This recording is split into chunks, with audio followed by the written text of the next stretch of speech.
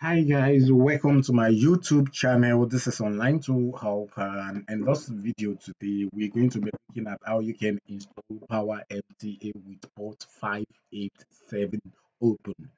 Yeah, frequently I've been getting some messages on my social medias and people asking me to make a video or to try to show them how they can actually use port 587 um, on their Power MTA server. So this is another script entirely which we're going to be making use of port 587, not 225 this time. And this port, um, this script, this particular script is a new features, is a new features that just came in. It's a new update. So I'm going to walking you through the process.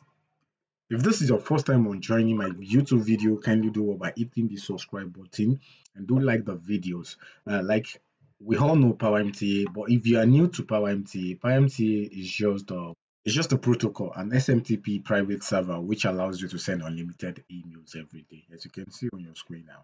This is a particular um, this is for a client and it's making use of it to get results, and it was able to send unlimited every day. So we just delivered this SMTP yesterday, and see, he was able to send 300, and out of the 300,000, um, it was 337,000 was delivered. The reason why the others are not delivered is two things. One is that invalid emails, your bounce rate. So that's why I used to advise people make sure you work on your bounce rate.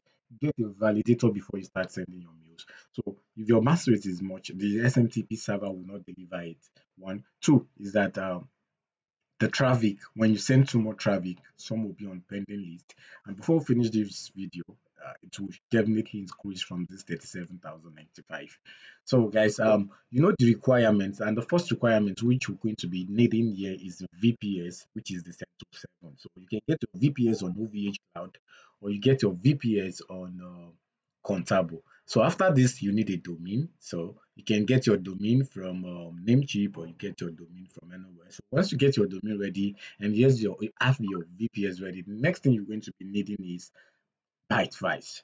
So Bitvise is just a, a, an SSH client which you can actually use to connect your VPS together and make your setup of your SMTP on it. Okay, guys. So when we have all this ready, I have my VPS and my domain ready. So let's get to work.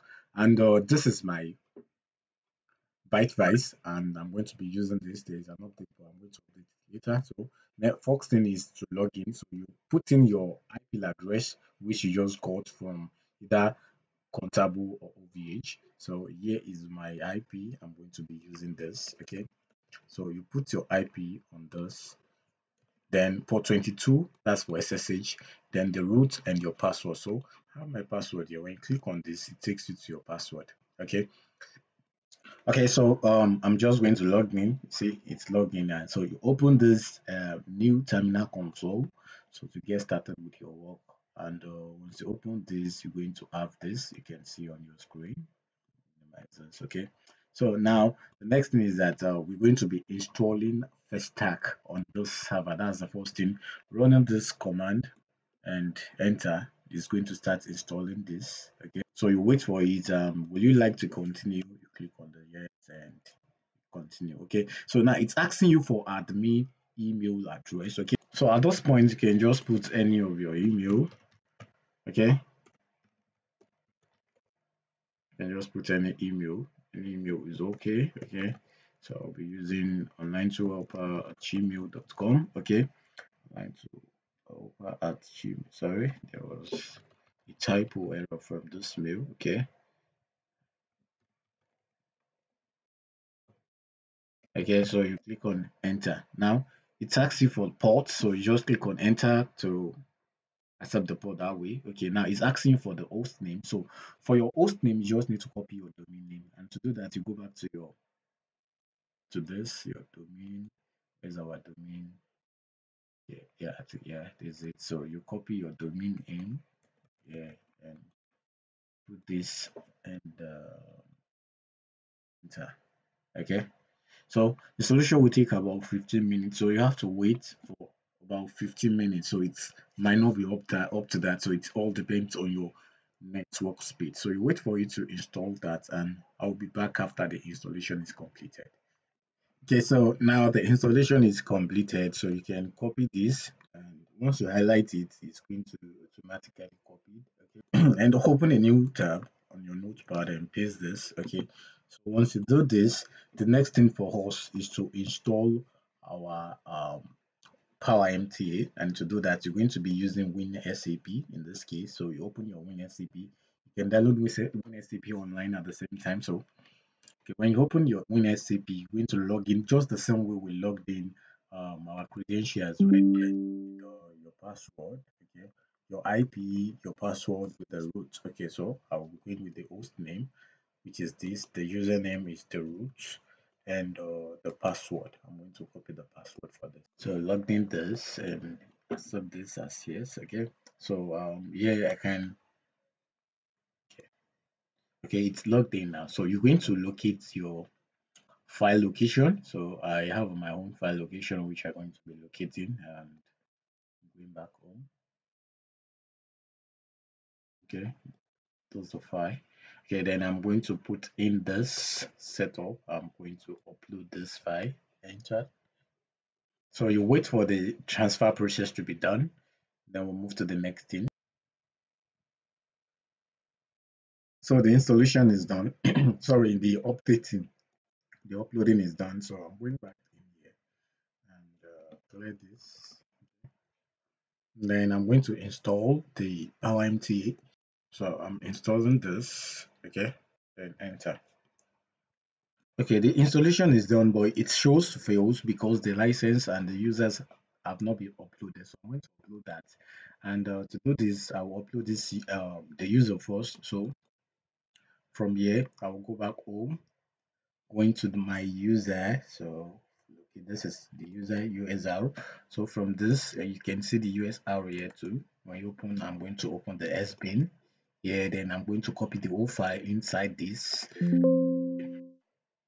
so we have the two files here then moving here. So then wait for the upload to be completed. So this is done uploading then i'm going to upload my license at the same time. I'm going to upload this license on the etc so now that the license is uploaded i'm going to edit my config and uh, we're going to make the test on our server i have the config file which i'm going to be giving to you if you are interested in the order in buying this tutorial or you want us to set up for you. And as you can see this this is port 587 open okay? I'm going to save this and minimize this and going back to this and run the service pmta service pmta start okay? Should be okay Okay, so when you get this, don't worry, we still have other things to do on the config, like the dkim and the other things. So I'm going with this command and finding this, then okay, and copying this. Um, I'm going to be doing this, this, okay. So right from here, you get your dkim. So when you open this and you have your dkim here, then you can copy. Mind you, this is just a short video demonstration to show you how this works. If you need the full course, you can get on the description below this video and reach us on my social media to order for your whole tutorial course. So before we complete this, we need to add um our Google MX record. So to add it, you can visit the Google page from here then you can add your mx record to your domain server okay? So i'll be adding my mx record right here and uh, um, all this has been added now. So we'll go back to our config uh, which is this okay? Then we're going to be running debug. We're going to be debugging this. Then um, service exim stop okay?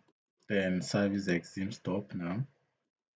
And now we can see our PMTA has been restarted and it's okay now okay let's say we restart this service PMTA restart and that's okay at the same time now that everything is okay and it's been set up I'm going to send my message now so I'm going to put in my SMTP credentials information here from the config file. So putting all this with the port and let's check the test. So now picking this and this is the email, my email I'm going to be using and click on okay, let's send a test and you can see it shows message sent completed okay? Now to check for this i'm going to be opening my gmail.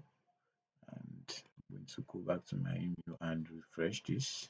And here is it. As you can see it's directly in inbox. So before we go i will if you'd like to get this tutorial course kindly do well by it on the subscribe button. And at the same time check the description below this video to reach us on our social media. Thanks for watching